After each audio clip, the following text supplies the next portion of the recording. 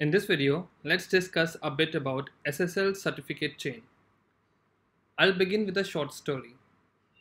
Once upon a time, there was a Khaleesi. Khaleesi wants to take over the Iron Throne. But before that, she has a greater threat to deal with.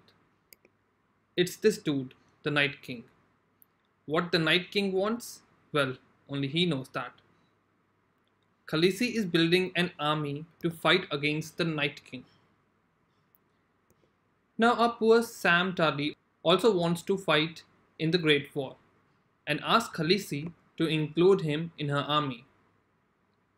But the Khaleesi doesn't know Sam Tarly yet and says that she doesn't trust him. Now Sam asks Jon Snow to help him out. Jon trusts Sam and tells him that he will talk to Khaleesi on his behalf. But Khaleesi and Jon doesn't know each other yet because this hasn't happened yet.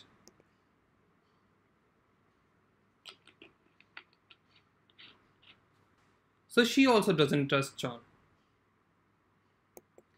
Now Jon seeks Tyrion's help. Tyrion says, Jon, I trust you. You can bring in whoever you trust. I'll talk to Khaleesi. Tyrion talks to Khaleesi now, and he says, I trust Jon.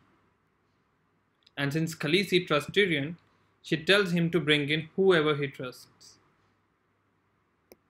So, now Khaleesi trusts Tyrion, and Tyrion trusts Jon, who trusts Sam. And this is how Khaleesi trusts Sam, and now he can join the army and fight in the Great War. Now enough of Game of Thrones. Let's talk about SSL certificate chain. You already know that whenever you want to host your server over SSL, you are given an SSL certificate. This SSL certificate given to you is called end user certificate. Now there are two types of certificate authorities out there, root CAs and intermediate CAs. In order for an SSL certificate to be trusted, that certificate must have been issued by a CA that is included in the trusted store of the device that is connecting. That's if you're given a certificate to host your server over SSL, that certificate must be trusted by one of the root CAs present in your connecting device, that's your browser. You already know that your browser contains a lot of certificate authorities.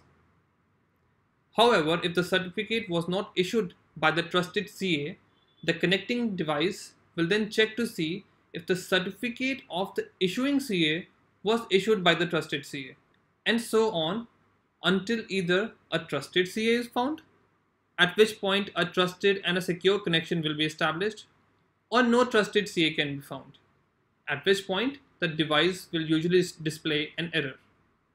This list of SSL certificates from the root CA to the end user certificate represents the SSL certificate chain. In our example of Game of Thrones, Khaleesi was the root CA. Tyrion and Jon Snow were the intermediate CAs. And Sam Tarly has an end user certificate.